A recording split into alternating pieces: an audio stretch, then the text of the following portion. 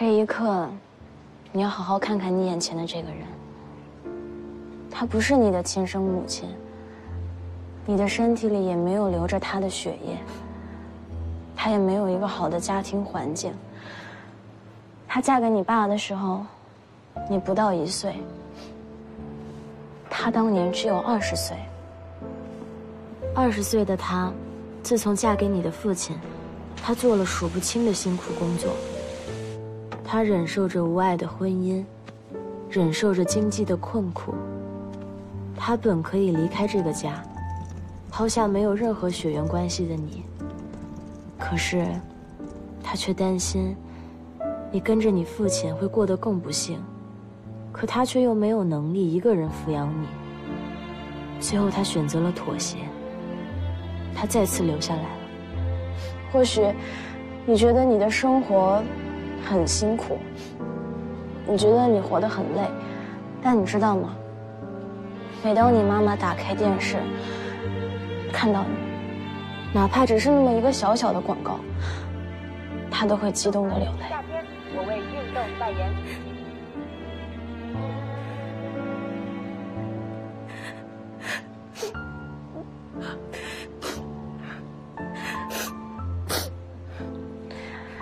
你还记得那二十万块钱吗？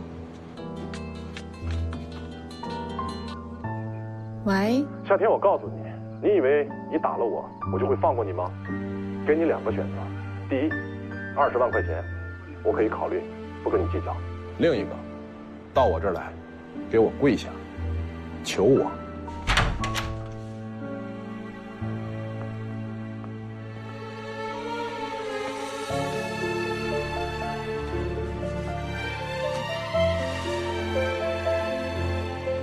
夏天，这个世界上没有人比他更爱你。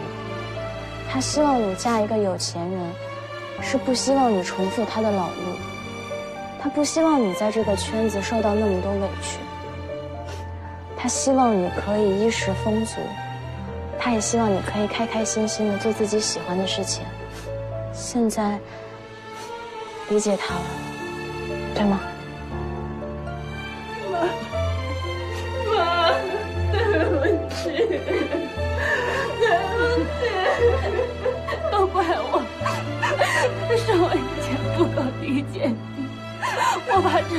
成为你的累赘，妈妈怕连累你。我一直以为你不爱我，我一直以为我从来都没有得到过母爱，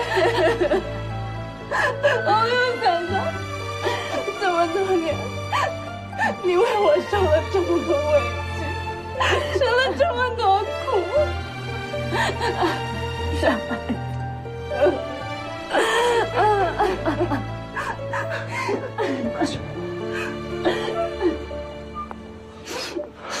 以后有我在，一定不会让你们再受委屈，更不会受苦。我给您安排好了病房，请了最权威的医生亲自给您做手术，一定会让您好起来的，好不好？谢谢，谢谢。有我在。别担心了。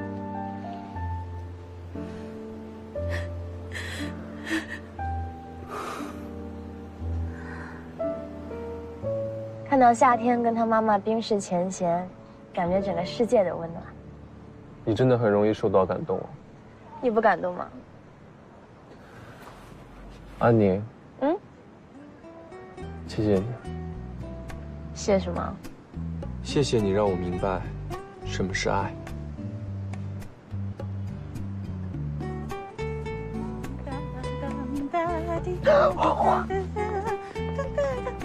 谁呀？我妈。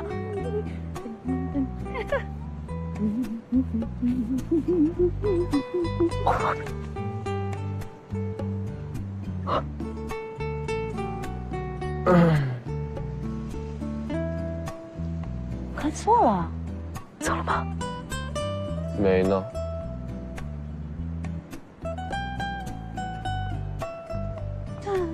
走了。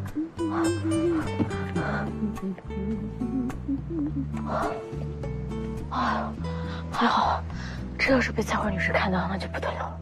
你这话什么意思啊？你妈难道现在还不知道我的存在？啊，我还没想好怎么开口跟她说呢。我妈呀，她虽然嘴上很着急我结婚，但她心里挑剔的很。啊，我哎，我可是龙浩谦，和你交往的男人不是那种每天陪你挤地铁的男人，我可是。他对精神层面要求更高。总之，我还没想好要怎么说呢。精神层面，你知道我哪个大学毕业的吗？我从小读过的书是你从小读过书的几十倍，我精神层面可是很高的。总之就是不行。为什么不行？那除了我妈，还有我姥爷啊！你想，当年我爸可是我姥爷最得意的大弟子，那他当初娶我妈的时候还是过五关斩六将呢。他那么优秀了，还得这样，那更何况是……哎，好啦，你也优秀，你也优秀，好了吗，小心眼儿？我小心眼儿？那你大晚上的不回去睡觉，跟一个小心眼的男人在这浪费什么时间？不用你提醒，我也正要走。要走了。哼。晚安，